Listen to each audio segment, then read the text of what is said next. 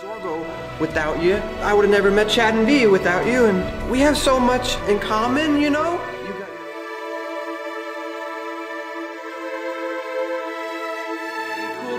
But that guy over there makes me wanna hurl.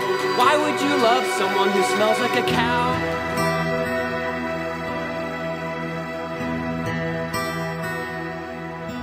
It's okay.